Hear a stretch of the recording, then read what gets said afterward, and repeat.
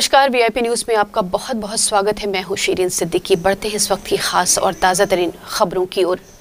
VIP परिवार की ओर से आप सभी को रेडियो श्रोता दिवस की अनंत शुभकामनाएँ। जी हाँ, अभिव्यक्ति की स्वतंत्रता, सार्वजनिक बहस और शिक्षा के सीधे साल प्रसार में रेडियो की अहमियत को समझने के उद्देश्य से नेशनल रेडियो श्रोता दिवस मनाया जाता है।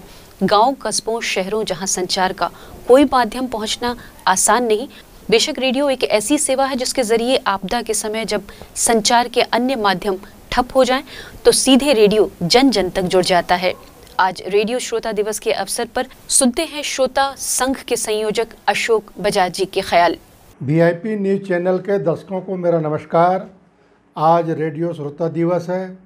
छत्तीसगढ़ में 20 अगस्त को रेडियो श्रोता दिवस मनाने की परंपरा शुरू हुई, जो आज पूरे देश भर में चल रही है। देश के विभिन्न विभिन्न कोनों में इसको बड़े धूमधाम से मनाया जाता है। रेडियो श्रोताओं के सम्मेलन होते हैं, गोष्ठियाँ होती हैं, प्रदर्शनियों का आयोजन किया जाता है। और चूँकि ये रेडियो हमारा संचार का बहुत ही प्राचीन माध्यम है, लेकिन आज जबकि संचार क्रांति के युग में इंटरनेट है, टेलीविज़न है, संचार के सारे साधन हैं, इसके बावजूद आज भी रेडियो की महत्ता अपनी जगह कायम है। मैं आज के शुभ अवसर पर सभी रेडियो श्रोताओं को बहुत बहुत बधाई एवं शुभकामनाएँ देता हूँ। बहुत बहुत धन्यवाद। बढ़ते हैं अगली खबर की ओर। पूर्व प्रधानमंत्री राजीव गांधी के जन्मदिन के अवसर पर सौगातों की झड़ी आज मुख्यमंत्री भूपेश बघेल ने प्रदेशवासियों को दी है। सबसे पहले तो उन्होंने प्रदेश के विभिन्न जिलों में बनाए गए राजीव भवन का वर्चुअल लोकार्पण किया। जहाँ कांग्रेस राष्ट्रीय अध्यक्ष सोनिया गांधी और पूर्व राष्ट्रीय अध्यक्ष राहुल गांधी भी शामिल रहे। इस दौरान राजीव गांधी किसान न्याय योजना और गोधन न्याय योजना के किश्त की राशि का भुगतान भी हितग्राहियों को की गई है। वहीं राजीव आश्रय योजना अंतर्गत पट्टा का वितरण भी किया गया है। सीएम बघेल के सौगातों की झड़ी यही खत्म नहीं होती, बल्कि और भी कई सौगातें सीएम बघेल द्वारा प्रदेश की जनता को आज दी गई। किश्त की राशि का भुगतान किए जाने के बाद राजधानी रायपुर के भगत सिंह चौक में लगे शेड का लोकार्पण मुख्यमंत्री भूपेश बघेल ने किया। जिसके बाद घड़ी चौक में बने मल्टी लेवल पार्किंग सुविधा का उद्घाटन भी आपने किया। इस दौरान उन्होंने नव निर्मित पार्किंग के चारों ओर का अवलोकन भी किया, साथ ही साथ इसकी तारीफ़ की। हम आपको ये भी बता दें कि मल्टी लेवल पार्किंग में एक बार में सैकड़ों वाहनों को खड़ी करने की सुविधा है। वहीं कई आधुनिक तकनीक भी इस पार्किंग भवन में मौजूद है। बताया जा रहा है कि इसके निर्माण के बाद खड़ी चौक के आसपास वाहन खड़ी करने की समस्या से भी राजधानी वासियों को निजात मिल पाएगी। बहुत ही श्रद्धापूर्वक प्रदेश ने मनाया और उसे स्मरण किया। उसके योगदान को कभी भुलाया नहीं जा सकता। और आज राजीव गांधी किसान न्याय योजना और राजीव आश्रय योजना और गोधन न्याय योजना, तीनों हम लोगों ने किया है। राजीव आश्रय योजना में भिलाई के सैकड़ों हितग्राहियों को उससे लाभ मिला है और 22 लाख किसानों को के खाते में 1500 करोड़ रुपया राशि डाली गई और वहीं करीब पौने दो लाख जो गौपालक हैं, उसे भी राशि अंतरण की गई उसके खातों में राशि अंतरण की गई। आज मल्टी स्टोरी जो पार्किंग, जो कलेक्ट्रेट और कोर्ट में तो बहुत ज़्यादा भीड़ हो जाती थी, पार्किंग की बड़ी समस्या थी। उसको ध्यान में रखते हुए बहुत सुंदर, करीब साढ़े चार सौ बड़ी गाड़ियाँ और ढाई सौ छोटी गाड़ियाँ वहाँ पार्क किया जा सकती है, उसे लोकार्पित किया गया। आखिरकार उन्होंने पिछले दो वर्षों से बनकर तैयार अंतरराज्यीय बस टर्मिनल का लोकार्पण किया है। इसका निर्माण भी आधुनिक तरीके से कराया गया है। यहाँ से प्रदेश के सभी शहरों के साथ साथ अन्य नौ प्रदेशों में भी बसों का आवागमन होगा। इस दौरान सीएम बघेल ने बताया कि इसके बनने से रायपुर वासियों को 40 प्रतिशत तक ट्रैफ़िक समस्या से निजात मिल पाएगी। दूधाधारी मठ समिति का धन्यवाद भी उन्होंने किया। इसके साथ ही प्रदेश भर में एक सौ इकहत्तर जगहों पर बनाए गए स्वामी आत्मानंद अंग्रेज़ी माध्यम स्कूल का लोकार्पण भी उन्होंने किया। इन स्कूलों को अत्याधुनिक तरीकों से निर्माण कराया गया है, जहाँ लाइब्रेरी ई लाइब्रेरी लेबोरेटरी और अत्याधुनिक क्लासरूम्स जैसी तमाम सुविधाएँ मौजूद हैं। इसका भी लोकार्पण मुख्यमंत्री ने आज किया। इस दौरान उन्होंने बताया कि गरीब बच्चों को बेहतर शिक्षा प्राप्त हो सके, इसके लिए सरकार ने ये योजना बनाई है और आज धरातल पर आ गई।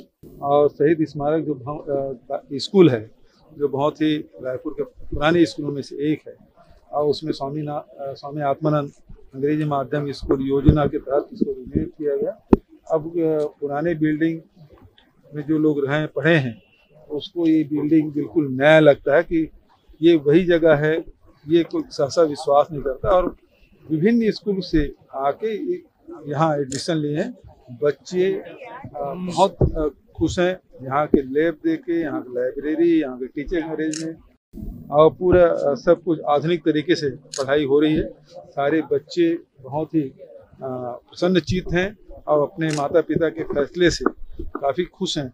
कि यहाँ निःशुल्क पढ़ाई भी हो रही है, लेकिन उच्च गुणवत्ता युक्त पढ़ाई हो रही है और सरकार ने एक सौ बहत्तर स्कूल इस प्रकार से पूरे प्रदेश में खोले हैं, जो निःशुल्क पढ़ाई होगी। गरीब से गरीब बच्चे हैं लोअर मिडिल क्लास के मिडिल क्लास के लोग, जिसके पूरा तनख्वाह या पूरा महीने का जो आय है, वो बच्चों के पढ़ाई में, उसके ट्यूशन में खर्च हो जाता था, उससे निजात मिलेगी।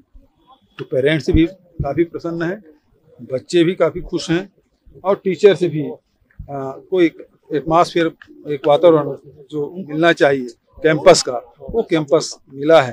निश्चित रूप से यहाँ सब पालक भी और बच्चे भी टीचर्स भी सारे गणमान्वित और हम लोग भी ये स्कूल बनाने के निर्णय जो लिए पूरे मंत्रिमंडल ने और आज इस रूप में जो दिखाई दे रहा है उससे हम लोगों को भी बहुत संतोष हो रहा है। मुख्यमंत्री भूपेश बघेल ने अपने निवास कार्यालय में देश के पूर्व प्रधानमंत्री स्वर्गीय राजीव गांधी के तैल चित्र पर माल्यार्पण कर उन्हें नमन किया।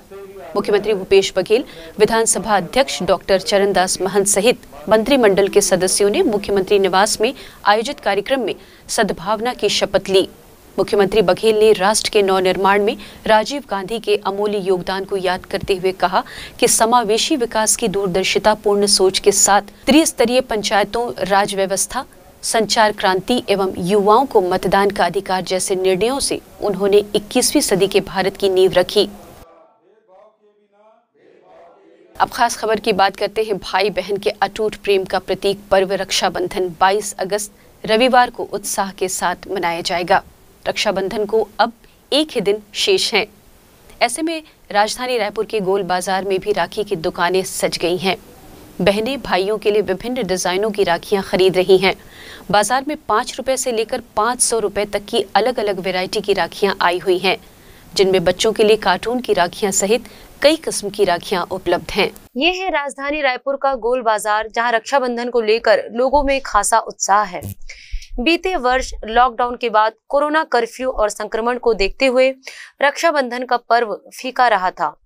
लेकिन पिछले साल की अपेक्षा इस बार बाजारों में रौनक है। इस बार इस बार नया सभी हैं, एडी के हैं, स्टोन हैं, कुंदन के हैं, ये सब बच्चों के लिए भी हैं, लाइट वाले, म्यूजिकल वाले और बाकी सब नॉर्मल ही है, जो भी है। बाकी इस बार अपेक्षा, पिछले बार के अपेक्षा बहुत अच्छा बाज़ार भी है।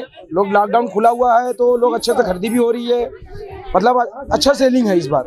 इस वर्ष, पिछले वर्ष की अपेक्षा राखियों का बाज़ार बेहतर है, जिसके चलते अच्छा व्यापार होने की उम्मीद है। राखियों के अलावा लोग मिठाइयों के अलग अलग वैरायटीज को लेना खूब पसंद कर रहे हैं। लेकिन वही ग्राहकों का कहना है कि इस वर्ष बाज़ार में रेशम की डोरियों के अलावा फैंसी राखियाँ तो है लेकिन नया कुछ भी नहीं है। इस बार कुछ अच्छी राखी नहीं आई है कोई पुरानी पुरानी डिज़ाइन है। पिछले साल के मुकाबले इस बार लोगों में थोड़ी राहत देखने को मिल रही है। उम्मीद किया जा सकता है आने वाले दिनों में त्योहारों की रौनक ऐसे ही बरकरार रहेगी। अब रुख करते हैं नारायणपुर से जुड़ी एक खास खबर की। नारायणपुर में नक्सलियों ने एक बार फिर बड़ी घटना को अंजाम दिया है। नक्सलियों ने कड़ेनार और करिया मेटा के बीच आईटीबीपी के जवानों पर हमला किया है। माओवादियों द्वारा किए गए इस हमले में एक एएसआई और असिस्टेंट कमांडर शहीद हुए हैं। मिली जानकारी के अनुसार करिया मेटा से जवान बेहतर नेटवर्क की खोज में कैंप से कुछ आगे निकले थे, जहाँ घात लगाए नक्सलियों ने इस घटना को अंजाम दिया है। अब बात करते हैं गरियाबंद से जुड़ी खबर की। गरियाबंद ज़िले में दो दिन से लापता नौ साल की बच्ची रानी कमार के अवशेष गुरुवार शाम जंगल में मिले। बच्ची दो दिन पहले घर के बाहर खेलते हुए गायब हो गई थी। परिजन पहले उसकी तलाश करते रहे। जब नहीं मिली तो सुबह पुलिस में शिकायत की। इसके बाद पुलिस के साथ वन विभाग के 40 जवान सुबह करीब 11 बजे से बच्ची की तलाश में निकले थे।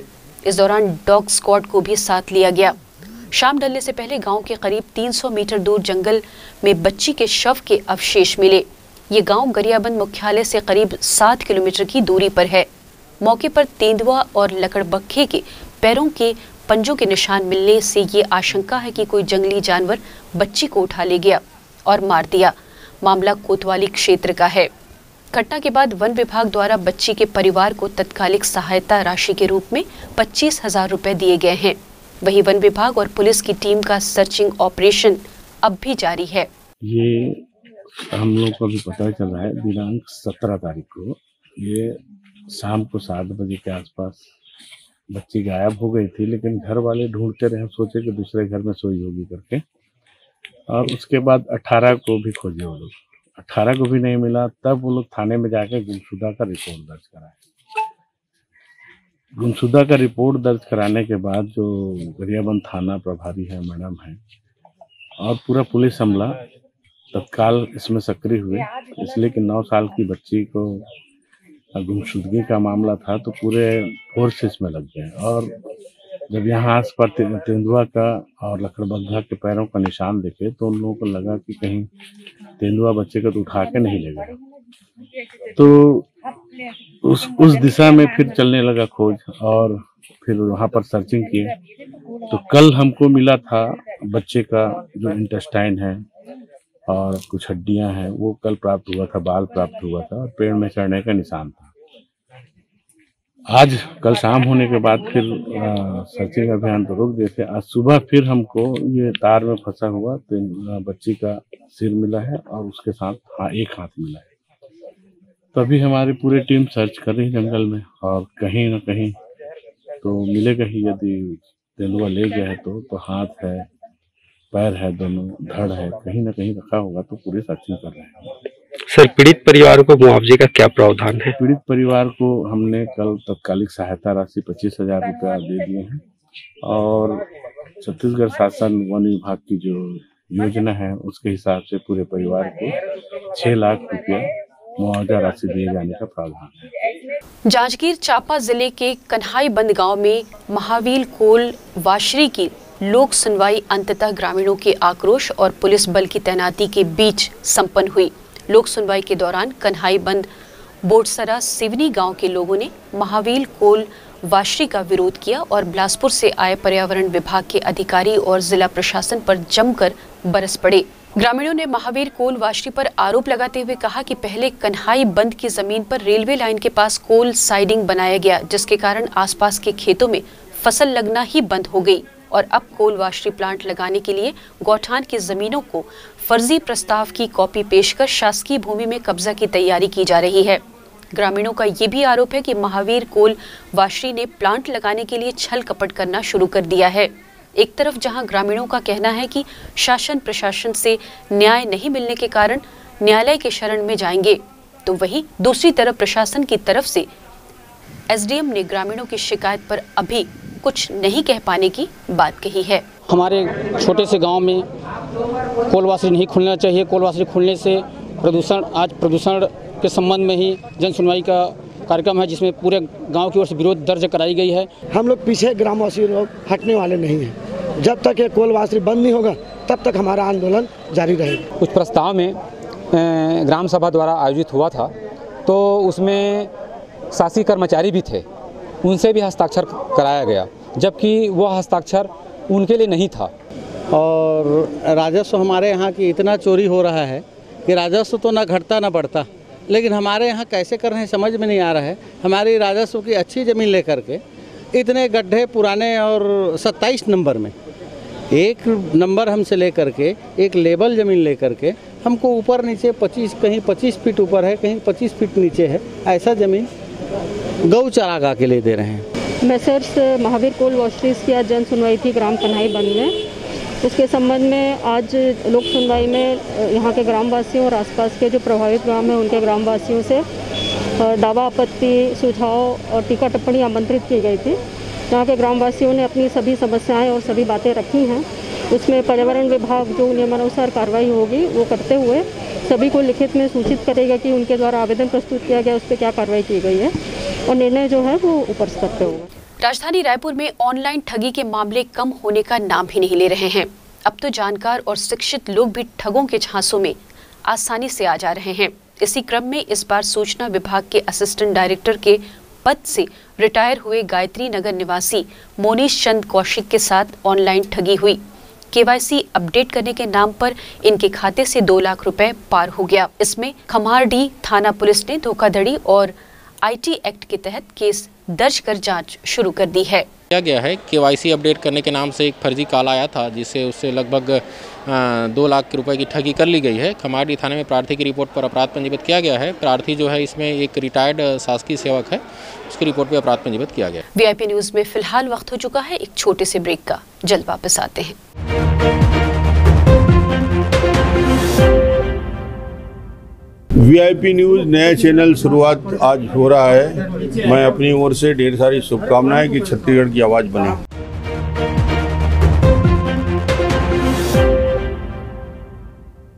ब्रेक के बाद एक बार फिर आपका स्वागत है। आइए देखते हैं सुभाष की बात। बात की बात में याद आ जाती है कोई ना कोई बात। कभी ज़ाहिर सी बात तो कभी राज की बात। बात, देश की, दुनिया की, रीति की, रिवाज की, आवाम के हालात की, राजनीति की बिसात की, घात की, प्रतिघात की, शह और बात की।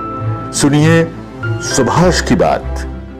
न्याय, अन्याय की, लड़ाई के बीच हमारे देश के किसान पिछले दस महीने से दिल्ली की सीमाओं पर आंदोलन कर रहे हैं। लेकिन केंद्र सरकार की संवेदनहीनता और हर धर्मिता के मारे उनकी मांगों को अनसुना किया जा रहा है। लोकतंत्र में ऐसी जिद का अर्थ साफ़ तौर पर जनता के असंतोष की अनदेखी करना है।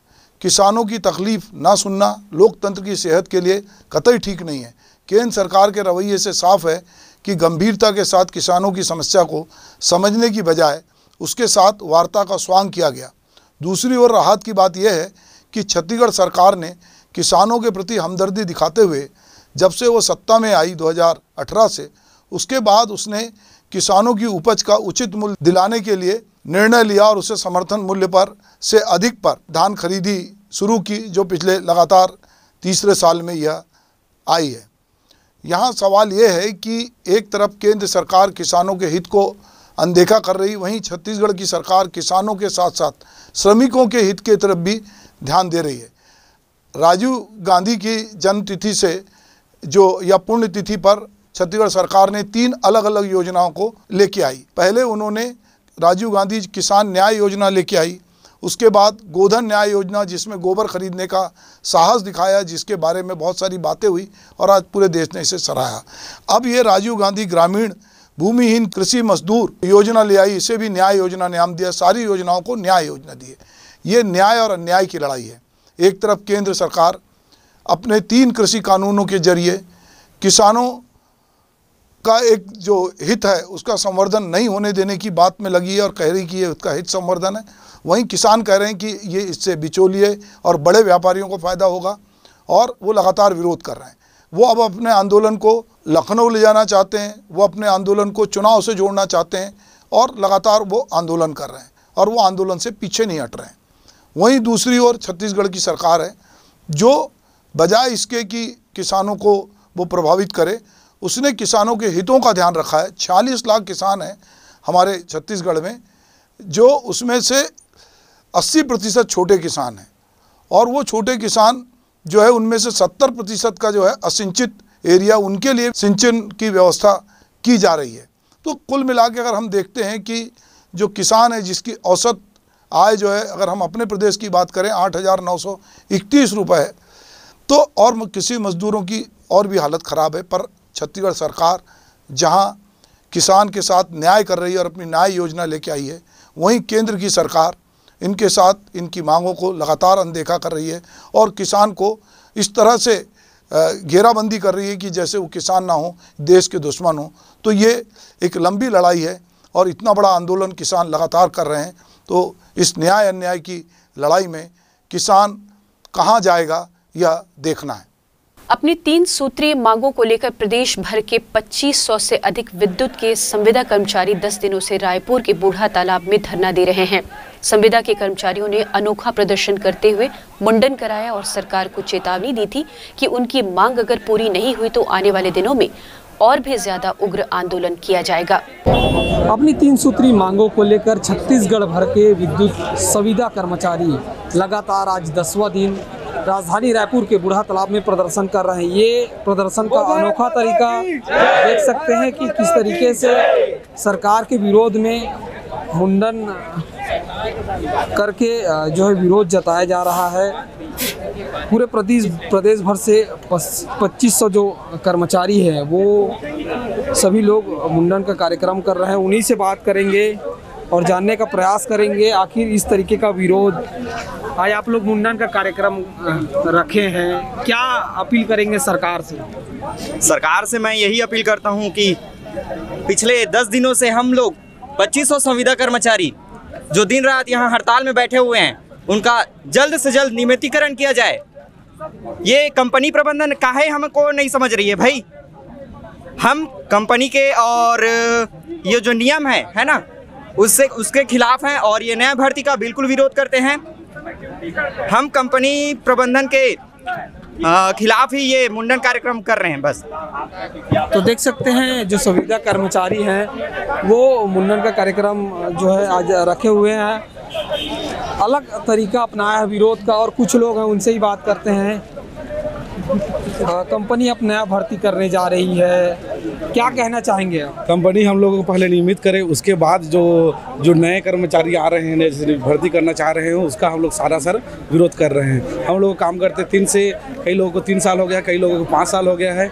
तो हम लोगों को पहले नियमित कर दे, उसके बाद अगर कंपनी के पास पैसा है, फंड है तो नई भर्ती ले। हम लोगों के लिए उसके पास फंड नहीं है, पैसा नहीं है, इसलिए हम लोग मुंडन संस्कार करके उसका विरोध कर रहे हैं। तो ये अनोखा तरीका है विरोध करने का। पिछले दस दिनों से जो विद्युत के सविता कर्मचारी है वो अपनी मांगों को लेकर रायपुर के बूढ़ा तालाब में धरना दे रहा है। उन लोगों का कहना है कि सरकार मुझे नियमित करे। अब देखने वाली बात होगी कि सरकार आने वाले दिनों में नियमित कर्मचारियों के लिए जो सविता कर्मचारी है उन पर क्या फैसला लेती है? कैमरा पर्सन होरीलाल साहू के साथ खोमन साहू वी न्यूज़ रायपुर। पूर्व प्रधानमंत्री राजीव गांधी की जयंती के अवसर पर आज विधानसभा में विशेष कार्यक्रम का आयोजन किया गया। इस अवसर पर विधानसभा अध्यक्ष चरणदास महन ने राजीव गांधी के तैल चित्र पर पुष्प अर्पित कर उन्हें नमन किया। आज भारत रत्न राजीव जी की जयंती पर छत्तीसगढ़ विधानसभा की ओर से हम लोग उन्हें श्रद्धा सुमन अर्पित करने आए हैं, श्रद्धांजलि अर्पित करने आए हैं। भारत के नौजवानों को नया रास्ता दिखाने में, भारत के नौजवानों के लिए भारत देश बनाने में उनका जो योगदान है, वो कभी भुलाया नहीं जा सकता। 28 वर्ष के नागरिकों को जो उनके द्वारा मत देने का अधिकार दिया गया और साथ ही साथ गांधी जी के सपनों को साकार करने के लिए ग्रामीण व्यवस्था, त्रिस्तरीय पंचायत राज दोनों दिशा में उन्होंने जो भारत को दिया है, संचार क्रांति के रूप में जो उन्हें एक एक नौजवानों के हाथ में आज मोबाइल पहुँचाया है, ऐसे महामना का हम आज साष्टांग नमन करते हैं, प्रणाम करते हैं। राजधानी के उर्ला थाना इलाके के सरोरा स्थित बजरंग इस्पात में हत्या की वारदात हुई। यहाँ काम करने वाले शत्रुघ्न महिलांगे नाम के युवक को उसी के साथ रहने वाले बाला कुर्रे नाम के आरोपी ने मौत के घाट उतारा है। घटना की सूचना मिलते ही मौके पर पुलिस ने आरोपी को गिरफ़्तार कर लिया। जानकारी के मुताबिक मुंगेली ज़िले के उमरिया गाँव निवासी बाला कुर्रे, शत्रुघ्न महिलांगे और एक अन्य युवक बजरंग इस्पात में काम करते हैं। तीनों इस्पात के अंदर ही एक कमरे में रहते थे।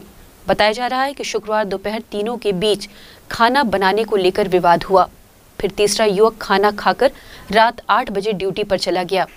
इसके बाद बाला कुर्रे और शत्रुघ्न महिलांगे के बीच खाना बनाने को लेकर फिर विवाद हुआ, जिसके बाद आवेश में आकर बाला कुर्रे ने शत्रुघ्न के सर पर लोहे की हथौड़ी और रॉड से वार किया, जिससे शत्रुघ्न की मौके पर ही मौत हो गई। उर्ला थाना क्षेत्र का मामला है, ये बजरंग इस्पात में दोनों काम करते थे और दोनों के बीच में दिन में भी एक बार लड़ाई झगड़ा हुआ था। उसके बाद में दोनों के बीच में रात में भी लड़ाई झगड़ा हुआ और एक ने दूसरे की हत्या कर दी है सिर से कुचल के। इसमें मर कायम कर लिया गया है, आरोपी को भी गिरफ़्तार कर लिया गया है, अपराध पंजीबद्ध करके विवेचना की जा रही है। विवाद की वजह से अभी तो आपसी आपसी विवाद है, सामने आया है। अभी डिटेल पूछताछ किया जा रहा है, पूछताछ के बाद ही बता पाएँगे। राजद्रोह केस में निलंबित आईपीएस जीपी सिंह की मुश्किलें लगातार बढ़ती जा रही हैं। कोतवाली पुलिस ने राज्य शासन से अनुमति मिलने के बाद मामले में गुरुवार को जेएमएफसी ओम प्रकाश साहू की कोर्ट में 400 पेज का चालान पेश कर दिया है। गौरतलब है कि राजद्रोह के मामले में पुलिस ने बिना गिरफ्तारी चार्जशीट पेश करने की अनुमति शासन से मांगी। जानकारी है कि जीपी सिंह के कुछ करीबियों को भी चार्जशीट में आरोपी बनाया गया है। अब चालान पेश करने के बाद कोर्ट से वारंट जारी हो सकता है। साथ ही पुलिस जीपी सिंह की संपत्ति भी कुर्क करने की तैयारी में है। वहीं इससे पहले पुलिस जीपी सिंह को बयान दर्ज कराने के लिए दो बार नोटिस जारी कर चुकी थी, लेकिन वो बयान दर्ज कराने नहीं पहुँचे थे, बल्कि 8 जुलाई को उनके वकील ने थाना पहुंचकर जीपी सिंह के बीमारी का हवाला देते हुए समय मांगा था। राजद्रोह के आरोपी निलंबित आईपीएस जीपी सिंह के खिलाफ पुलिस ने कोर्ट में 400 पेज का चलान पेश कर दिया है। चार्जशीट में जीपी सिंह के कई करीबियों का नाम भी शामिल है, उन्हें भी आरोपी बनाया गया है। पुलिस ने विधि विभाग से अनुमति मांगी थी, जिसके बाद ये चलान पेश किया गया है। इसके अलावा अब कोतवाली पुलिस जीपी सिंह की संपत्ति कुर्क करने की भी तैयारी में है। कैमरामैन मनीष मिश्रा के साथ हेमंत शर्मा वीआईपी न्यूज़ रायपुर। बलरामपुर ज़िले के कुसमी नगर पंचायत के कांग्रेस पार्षद को ग्रामीणों ने बुधवार रात टमाटर की नर्सरी चोरी करते खेत से रंगे हाथों पकड़ा है। नाराज़ ग्रामीणों ने कांग्रेस पार्षद की जमकर पिटाई भी कर दी। मारपीट का वीडियो इंटरनेट मीडिया में भी जमकर वायरल हो रहा है। ग्रामीणों ने इसकी शिकायत कुसमी पुलिस से की है। पुलिस ने पार्षद के खिलाफ चोरी का अपराध दर्ज किया है। अपराध दर्ज होने के बाद पार्षद फरार है। मिली जानकारी के अनुसार बुधवार रात करीब आठ बजे बारिश का फ़ायदा उठाकर कुसमी नगर पंचायत के मौलाना अब्दुल कलाम आज़ाद वार्ड क्रमांक आठ के पार्षद मोहम्मद वाहिद, ग्राम अमरपुर के किसान मिथिलेश सिंह महेंद्र पैकरा, गोवर्धन पैकरा व केदार गुप्ता के खेत से टमाटर के पौधों को चोरी करते हुए गाँव के पुरुषोत्तम पैकरा ने देखा। उसने तुरंत फ़ोन से इसकी जानकारी किसान मिथिलेश सिंह को दी। मिथिलेश सिंह ने अपने साथी परमेश्वर पैकरा के साथ पार्षद को धर दबोचा। इसके बाद ग्रामीणों की भीड़ वहाँ जुट गई। पार्षद वहीद अली अपनी गलती के लिए माफ़ी भी मांगी और छोड़ देने की गुहार भी लगाई, लेकिन ग्रामीणों ने उसकी एक न सुनी और पार्षद की लात घूसे से पिटाई करनी शुरू कर दी। पुलिस ने किसानों की शिकायत पर आरोपी पार्षद के मामले दर्ज कर लिया है। फ़िलहाल पार्षद पुलिस की गिरफ्त से बाहर है। बलरामपुर ज़िले के वाड़फनगर विकासखंड में पदस्थ एसडीओ राजाराम पुशाम इन दिनों अवैध कमीशन खोरी को लेकर चर्चा में बने हुए हैं। हम आपको ये बता दें कि विकासखंड के लगभग 50 पंचायत सचिवों ने एसडीओ के खिलाफ अभद्र व्यवहार, अमर्यादित शब्दों का प्रयोग व जबरन कमीशन मांगने को लेकर जिला कलेक्टर व मंत्री प्रेम साह टेकाम को लिखित शिकायत कर कार्रवाई की मांग की है। सचिवों ने आवेदन में लिखा है कि एसडीओ राजाराम पुशाम निर्माण कार्यों का सत्यापन करने के लिए 20 प्रतिशत तक कमीशन की डिमांड करते हैं। आर के एस डी हैं पुशाम जी, वो बहुत ही परेशान कर रहे हैं, कमीशन मांग रहे हैं और मतलब बहुत ज़्यादा कमीशन मांग रहे हैं, एक लाख बीस हज़ार मांगते हैं, सत्यापन नहीं करते हैं, जो पैसा देते हैं उनका करते हैं। इस टाइप से उनके कृतियों से पूरे सचिव संघ बलरामपुर के परेशान है और हम लोग को उसके जानकारी दिए। कि भाई इस टाइप से है तो हम लोग यहाँ आए हैं कलेक्टर साहब को ज्ञापन सौंपने और उनको इस, किसी अन्य जगह स्थानांतरण के लिए कलेक्टर साहब से मांग कर। कोई सचिव यदि उनका विरोध करता है तो उन्होंने बोला कि मेरा जो, जिसको जो करना है कर लो, हमको उससे कोई दिक्कत नहीं, मंत्री कलेक्टर सब मेरे हैं। का कार्यवाही ये है कि पहले तो ब्लॉक स्तर से निर्णय लिया गया है कि आंदोलन करेंगे और उसमें मेरा पूरा जिला बलरामपुर के अध्यक्ष महोदय के मार्गदर्शन में अनिश्चितकालीन हड़ताल होगा जब तक कि उनको वहाँ से हटाया नहीं जाएगा। अभी शिकायत कलेक्टर साहब के सामने प्रस्तुत हुई है regarding S D O R S Wadrafnagar के संबंध में। हालाँकि किसी भी अधिकारी विशेष के संबंध में कोई शिकायत प्राप्त होती है तो हमें एक जाँच प्रतिवेदन लेना ही होता है। तो इस विषय में मैं उनके जो वरिष्ठ अधिकारी हैं ई उनसे मैं प्रतिवेदन प्राप्त करूँगी। कल इनको मैं ईआरएस को फॉरवर्ड करूँगी और उनसे बात भी करूँगी कि इसकी जाँच करके शीघ्र अतिशीघ्र दें। यदि शिकायत सही है तो फिर नियमानुसार हम उसको प्रस्तुत करेंगे माननीय कलेक्टर साहब के समक्ष निर्णय के लिए। उसके बाद ही हम कार्यवाही कर सकेंगे। तो अभी तो शिकायत की बिंदु है, उसका अवलोकन करके इसको आर को हम जाँच के लिए देंगे। और हम लोगों का समस्या ये है कि हमारे जनपद में प्रभारी एसडीओ श्री राजाराम पुसाम जी के द्वारा हमारे पंचायत निर्माण कार्यों का जब भी अपन सत्यापन के लिए जाते हैं, मूल्यांकन के लिए जाते हैं, इन्होंने अत्यधिक कमीशन दो परसेंट तीन परसेंट से लेकर बीस परसेंट तक डिमांड की जाती है। और ये सही बात है कि मेरे यहाँ ग्राम पंचायत गोवर्धनपुर का निर्माण कार्य, पुलिया निर्माण कार्य में हमारे सरपंच से पहले उधार मांग करके एक लाख बीस हज़ार लिए, फिर उन्होंने कमीशन के तौर पर उस वीआईपी न्यूज़ में फ़िलहाल के लिए इतना ही। देश दुनिया की बाकी खबरों से जुड़े रहिए वीआईपी न्यूज़ के साथ। नमस्कार।